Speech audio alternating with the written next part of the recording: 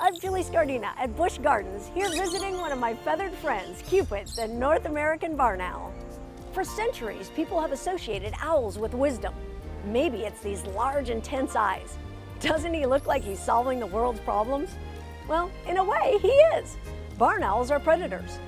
In a year, a barn owl like Cupid can eat 1,000 mice, and that's just one barn owl. Think about how quickly the mice population would grow and how quickly farmers' crops would be eaten if barn owls weren't around to do their jobs. So while predators might sound scary, they play an important role in keeping the whole ecosystem in balance. Thanks, wise guy.